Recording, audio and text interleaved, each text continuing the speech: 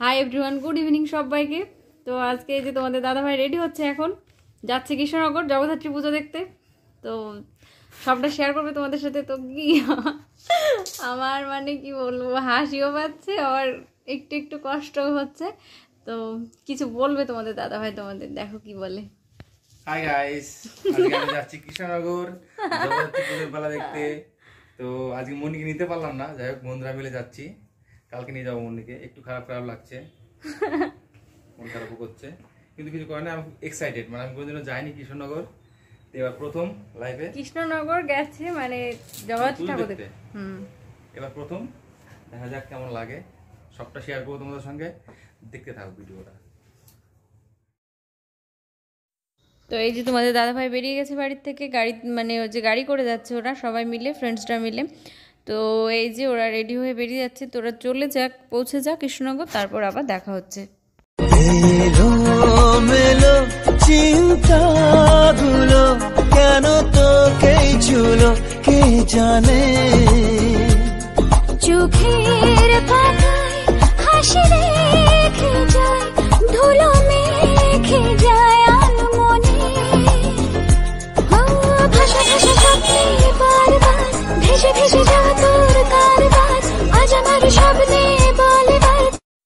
তো পৌঁছে গেছে তোমাদের দাদাভাই কৃষ্ণনগরে। তো কৃষ্ণনগরে যে মানে এত লাইটিং এত কিছু মানে তোমাদের দাদাভাই বলছে ওখানে পৌঁছে। এত ভালো লাগছে। ওই দিনকে আর চেনাই যাচ্ছে না যে এটা কৃষ্ণনগর, তাই বলছে, ঠিক আছে। আর আমাদের তো নিয়ে যায়নি।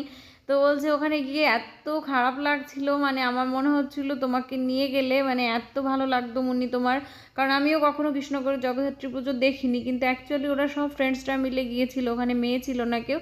তো বলছে যে যে সামনের বছর যখন যাব, তখন তোমাদের সবাইকে নিয়ে যাব। মানে তো মানে কি বলব, আমারও শুনে এত খারাপ লাগছিল। কিন্তু তারপর আমার জন্য তো সব কিছু নিয়ে এসছে আর তোমাদের জন্য ব্লগ বানিয়ে। তো দেখতে থাকো, তোমরা আশা করি খুব খুব খুব ভালো লাগবে। তো এই যে এখানে একটা প্রতিমা মানে প্রথম এটা ফার্স্ট ঠাকুর দেখেছিল, এটাই। তো আস্তে আস্তে তারপর মানে যাবে বুড়িমার কাছে। তো তার আগে তোমাদের দাদা ভাইয়ের একটা ঝলক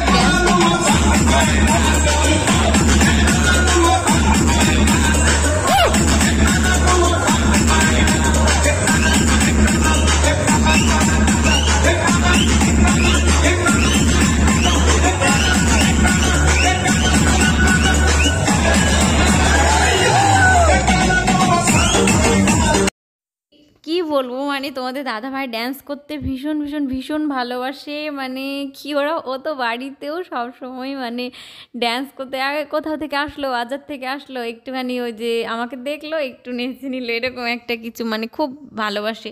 তো ওখানে ঠাকুর দেখতে গিয়ে বলছে, এত মানে বক্সেরা মানে গানটা শুনে এত ভালো লাগল। তো আর ওখানে সবাই ড্যান্স করছিল, তো ড্যান্স না করে আর থাকতে পারলাম না তাই বলছে। তো সেটাও তোমাদের দেখানোর জন্য ব্লগ বানিয়ে নিয়েছে যে ফ্রেন্ডদের সবাইকে দেখাবা মুন্নি। তাই বলছে, ঠিক আছে? তো তারপর কয়েকটা ঠাকুর দেখার পর, তারপর যাবে বুড়িমার কাছে। মানে কৃষ্ণনগরের তো বিখ্যাত পুজো বুড়িমা। বুড়িমা যে তো বিশাল বিখ্যাত, আড়াইশো বছরের মানে পুজো এবার। তো দু একটা ঠাকুর আগে দেখেছিল, তারপর গেছিল বুড়িমার কাছে।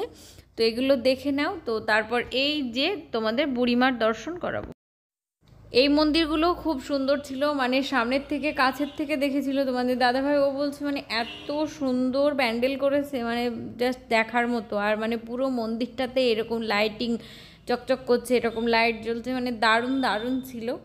তো তোমরা দেখে নাও। আর ও এই যে বললাম ড্যান্স করতে ভীষণ পছন্দ করে। তো যেখানেই বক্স বাজছে, ও তো মানে নিজেকে, ও বলছে, আমি সামলাতে পারছি না। আমার এত ড্যান্স করতে ইচ্ছা করছে। কিন্তু এখন প্রচুর রাত, তো এখন প্রায় বাজে বারোটা একটা, এরকম টাইম তো বলছে, আমি মানে কোনো, আমার কোনো প্রবলেম হয়নি। আমি কখনো বোরিং ফিল করিনি বা আমার হচ্ছে মানে যে কোনো এত রাত জাগছি, কোনো প্রবলেম কিচ্ছু হয়নি। প্রায় দশ কিলোমিটার মতো হেঁটেছিল, না কত মানে এরকমটাই বলছিল যে দশ থেকে পনেরো কিলোমিটার মতো আমি হেঁটেছিলাম, ঠিক আছে? তো প্রচুর, তো আমারও এই মন্দিরটা দেখতে দারুণ লাগছে। তো দেখছি আমি সামনের বছর আমাকে নিয়ে যাওয়ার কথা আছে। তো এইবার চলে যাবে তোমার বুড়িমার কাছে। তো এই যে বুড়িমার মানে ঢোকার যে পথ, ওই যে লাইটিং তারপরে এখান থেকে দু তিনটে লাইটিং এই যে বুড়িমা লেখা আছে, দেখো এখানে ভালো করে। আর এই যে আড়াইশো বছরের এই, এবারের যে পুজো এটা তো সেটা। তো বুড়িমার কাছে যে লাইটিং তারপর মানে অনেক দূর থেকে লাইটিং করে। তারপর আস্তে আস্তে যে মানে মেন যে বুড়িমার দর্শন হবে, তো যখন ওরা গিয়েছিল, বুড়িমা ঠাকুরের কাছে পৌঁছেছিল, তো সেই তখন তোমার বাজে হচ্ছে রাত্রি আড়াইটে মতো হবে। রাত্রি আড়াইটের সময় বলল, এই যে বুড়িমার দর্শন পেয়েছিলাম আমরা। তো তাই জন্যই দেখতে পেয়েছিল অত রাত্রি বলে। না হলে দিনের দিন ওখানে গিয়ে সন্ধ্যার সময় বা সাতটা, আটটা, নটা মানে কোনো চান্সই পাওয়া সম্ভব নয় তাই বলছে, ঠিক আছে? আমিও এর আগে শুনেছি যে মানে ওখানকার যারা স্থানীয় তারাই মানে আগের দিন থেকে ঠাকুর দেখতে শুরু করে এরকম একটা ব্যাপার, ওখানে এতটাই ভিড় হয়। তো দেখতে থাকো, তোমরা খুব ভালো লাগবে।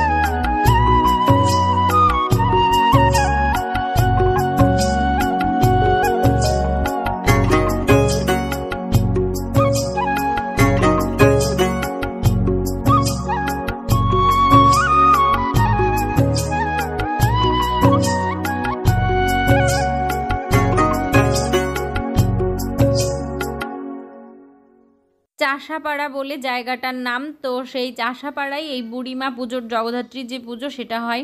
তো বহুদিনের আগেকার পুজো, আড়াইশো বছর এবার ওনার মানে পূর্ণ হলো। তো আমি বাবার কাছে এর আগে গল্প শুনেছিলাম মানে কৃষ্ণনগরে যত পুজো আছে জগদ্ধাত্রী, তো প্রচুর জগদ্ধাত্রী পুজো হয়। তার ভিতরে এই যে বুড়িমাটা হচ্ছে সবার বড়। তো এই জন্য ওনাকে এই আখ্যাটা দেওয়া হয়েছে বুড়িমা। তো এই যে কত দূর থেকে ওনার গেট ওনার এই যে লাইটিং তারপরে বিভিন্ন সিল মারা, বারবার লেখা আছে, বুড়িমা বুড়িমা, কত ডিজাইন কত কুলোতে এতে। তো তারপর তোমার অবশেষে এসে পৌঁছেছে বুড়িমার কাছে। তো তোমরা ভালো করে বুড়িমাকে একবার দর্শন করে নাও। তোমাদের দাদাভাই বলছিল, ওনার যে পুরো গহনা আছে, পুরোটা একদম সব সোনার।